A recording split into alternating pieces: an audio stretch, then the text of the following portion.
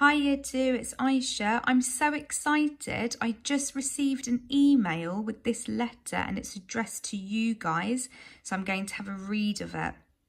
Dear Year 2, I am writing to you because Aisha and Claire told me that you enjoyed hearing my story.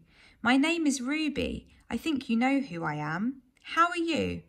What have you been doing at home during the lockdown? I know things are a bit strange at the moment and some of you may have a worry, but I've got an idea about a way to help. In my story, I learnt that talking about my worry made it go away. I know that it is sometimes hard to talk about your worry, so I thought you could share it with me by writing me a letter. Even if you don't have a worry, you can tell me about all the things you have been doing whilst you've been at home. I can't wait to hear from you all. From Ruby. Oh, wow. This is great. So what I thought you guys could do is you could all write Ruby a letter to reply to this one. Keep watching because I've written a letter back to her where I'm going to go through all of the things you must include. I've written a letter replying to Ruby's letter. So I thought what we could do is have a read through and look at the features that I would like you to include for a letter. Okay, so from the top. Dear Ruby and a comma. That's how we start the letter. We say dear, who it's to, and with a and then add a comma. So that's why that's underlined in orange. There are things as we read through the letter that will be underlined in different colours and I want you to think about why. Thank you so much for your letter. I'm not bad, thanks. How about you? So here we've got something in pink underlined and then this here in green. Why do you think I've got those things underlined?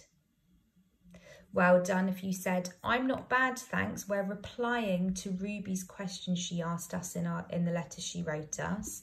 And then how about you? We've asked her a question. So in a letter, that's what you would we would want you to do is ask a question to the person you're writing to. Remember your question mark. Life has changed a lot, but I've been taking the time to do things I don't often have time for. I've been baking yummy treats and gardening, which has been lots of fun. Raki has loved having me at home as it's meant he's got lots of cuddles. So here we've got some words underlined in blue. We've got the word but and and as. I would like you to put your thinking caps on and have a think. Why have I underlined those words in blue? What are those words called? What type of words are they? Well done if you said they're conjunctions. Great, let's carry on. I really enjoyed your story because it helped me understand that talking about my worry is the best thing that you can do. My worry has grown over the past few weeks because I haven't spoken to anyone about it. I am now ready to share it with you. My worry is always thinking about when things will go back to normal. I really miss my class. I miss their little faces and learning lots of new things together. So again, I've got the word because underlined in blue because it is a conjunction. I really enjoyed your story because we're giving a reason why. We're extending our sentences. This part of our letter, we were saying thank you to Ruby for her letter, answering the question she asked us, asked her a question, and then we spoke here a little bit about what she asked us. She said, what have you been doing during lockdown? Now, this part of my letter, I've moved on to talk about what I want to speak about. So now this is about my worry. I'm using some conjunctions here. Let's carry on. My worry is also always thinking about all of the key workers and hoping that they are st staying safe and healthy. I can feel it already. My worry is starting to shrink. Thanks, Ruby. You were right. Talking about your worry does make it disappear. From Aisha. Okay, the first thing here is we have something here, The punctuation, it's underlined in green.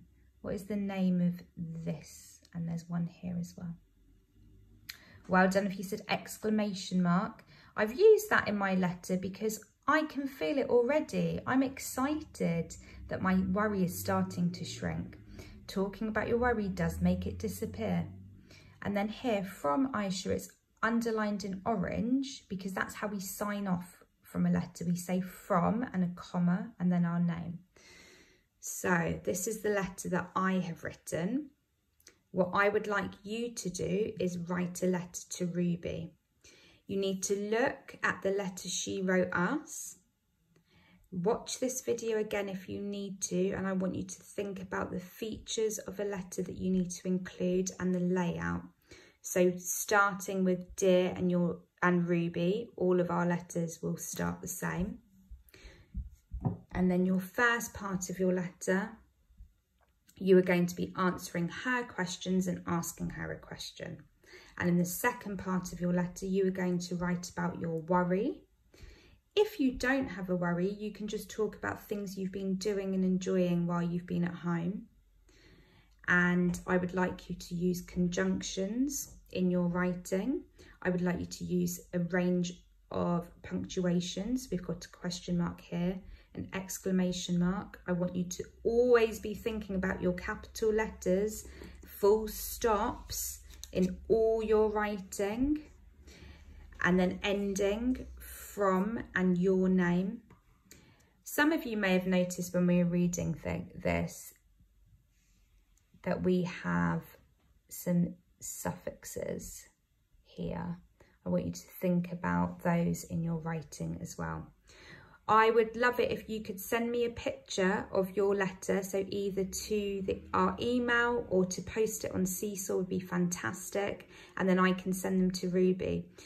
Um, I hope you are all well and safe. I hope you're having fun and doing your learning. I hope you're listening to your adults and enjoying the sunshine. And I will see you in my next video. Take care. Miss you all. Bye.